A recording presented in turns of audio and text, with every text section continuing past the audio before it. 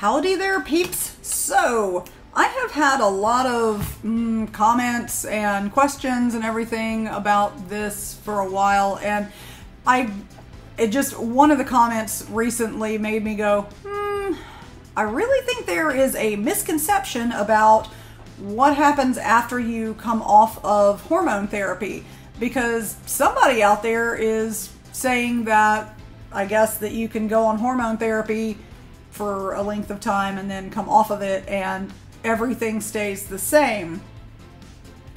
That's a hundred percent not true.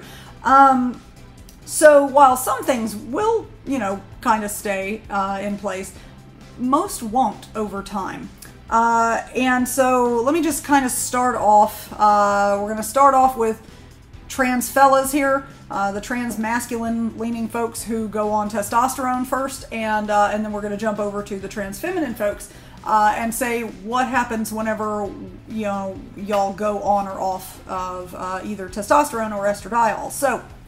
Um, with testosterone for my trans masculine folks, um, you know, certain changes happen whenever you go on it. Your voice deepens, your skin gets just a micron thicker, a little bit oilier, sweatier, stinkier. Um, facial hair starts coming in as these follicles turn into terminal hair follicles. Uh, body hair in general tends to get a little bit thicker and darker and grow faster. Um, over time, you see body fat redistribution to where it's a less feminine pattern on the face and, you know, the torso and all that, and you tend to gain muscle mass. So, what happens then if you go off of testosterone after a certain amount of time? So, of course, it depends how long have you been on testosterone? Do you still have ovaries or not? Um, or did you have them to begin with? I mean, you know, some people don't. Um, so, I mean, of course, if you don't have ovaries, then that may become a problem because if you come off of testosterone, then you have no major hormone production in your body. You'll just have what the adrenal glands will uh, will pump out, and that's just kind of like a low level of T and E, just enough to get you by. Uh, it's not really enough to maintain uh, the changes that you have undergone. So uh, anyway, assuming that you you know you have ovaries or at least one little ovary kicking out stuff. Um, you go off of T. The things that will stay are the voice. Like that's about the only thing that's going to 100% stay. Now, the facial hair uh, and the body hair will over time begin to thin and lighten. The facial hair, you know, once these hair follicles have turned into terminal hair follicles, like that's not going to revert. But if you've ever seen like a cisgender guy that's 80 years old and has that kind of like a thin wispy type beard. This is the kind of thing that's going to happen over time is that these these hairs will no longer be as thick and dark. They will kind of thin out. Um, so you won't have as full of a beard anymore but you will still have some facial hair. Um, then the body fat redistribution that will eventually go back towards a feminine appearance um, facially and torso and all that um, the muscle mass, I saw on online, I did a, a quick uh, Google just to see where are people getting this idea, and sure enough, I saw some person saying that the muscle mass would remain. No, no. Once your testosterone has dropped from, you know, masculine levels down to feminine levels, you will not be able to maintain muscle mass the way you used to be able to. Uh, testosterone builds and holds on to that muscle mass like a beast. Once that level has dropped, you know, you're going to have muscles, but they're going to decrease and atrophy over time, usually a few years. If you were on T for five years, then it's going to take two, three, four, five years for all of that, you know, fat redistribution, muscle mass, and everything to completely go back towards baseline. Um, it, but eventually, it, it it does. It's it's just, you know, you don't have the T to hold on to that stuff anymore. So um, so anyways, uh, all of that, like I said, you know, the, the voice definitely that stays. The hair kind of gets wispy, thinner, maybe a little lighter. Same thing with the body hair. body fat, that's going to go back towards baseline. Muscle mass is going to go back towards baseline. I mean, sure, you could get crazy with it and start doing like pumping really hard weights all the time to try and maintain, and that may hang on to it for a longer period of time. It's still going to be a hell of a lot harder uh, than if you just had the testosterone to help maintain it. Um, there is, uh, you know, usually whenever you go on T, you have some degree of clitoral uh, lengthening, thickening, growth down there.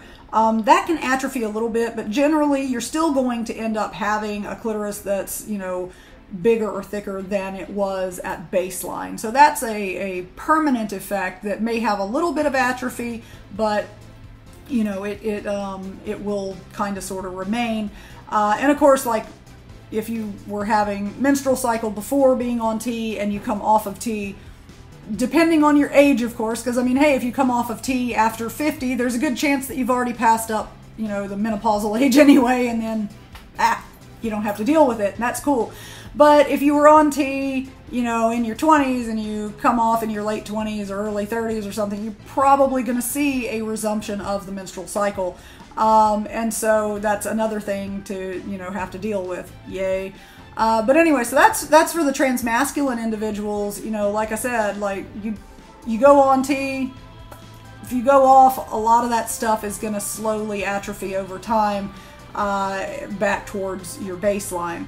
Um, now, as far as trans feminine individuals, uh, you know, this one, of course, ladies, we get hit the hardest, right?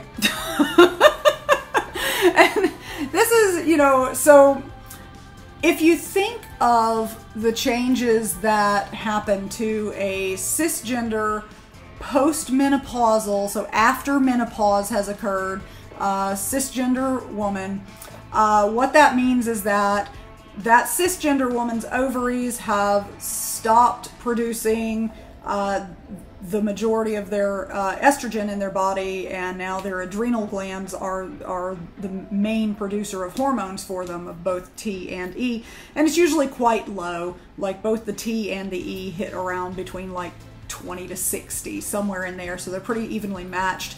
Um, it's just just enough to function on, basically. Uh, so anyway, so the ovaries have just boop gone kaput, and uh, and what happens to a cisgender woman's body after that uh, is pretty much the same thing that's going to happen to any changes that you have in your own body if you come off of estradiol. So breast tissue, that's the one everybody's always most concerned about. So breast tissue itself is going to deflate or atrophy. So if you have seen 60, 70 year old cisgender female breasts, they get a little bit flatter. Hey, unless you had work done. And some people, you know, some people just are genetically gifted, hey. But for the vast majority of us, when we're whenever we're 70 and have breasts, they're going to be pretty flat. And that's because the fatty tissue inside of it just kind of leaves, it, it atrophies. And all you're left with is the skin that's stretched out from the years of having that fatty tissue. And so you have kind of this flattened breast tissue appearance.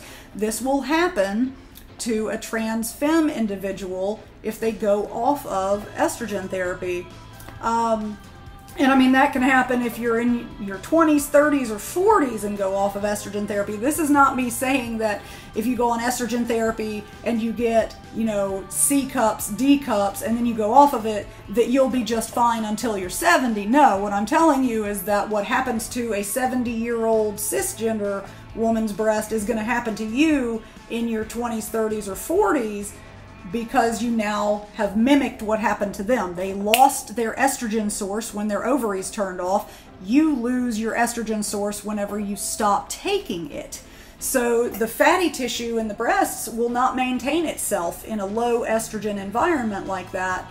Uh, and so they will slowly kind of flatten out and lose their roundness, their perkiness, and, and the, um, the, the boobageness. I, I don't know what the term is I'm searching for, but you know, it's not going to just magically stay fine once the estrogen is removed. Um, another thing, you know, people are concerned about is, of course, the body fat redistribution. and that will start working itself slowly back towards baseline. If you have gone through, you know, years of estrogen therapy and you have, you know, gotten to where you now have uh, that feminine form, that is going to revert back towards baseline if you do not support it continually and maintain it with an appropriate level of estrogen in your system. Um, it's it sucks. I'm not saying it doesn't suck, but um, but that that's what happens. And I see people um, asking me these questions about how long do I have to be on hormone therapy before uh, it's permanent for life. So that's how long you have to be on it for life.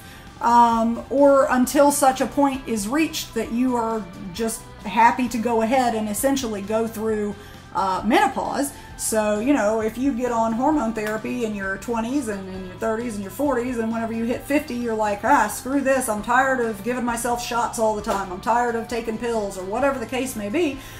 You could go off of it, you know, and like I said, your body will go through those changes just like a postmenopausal cisgender woman.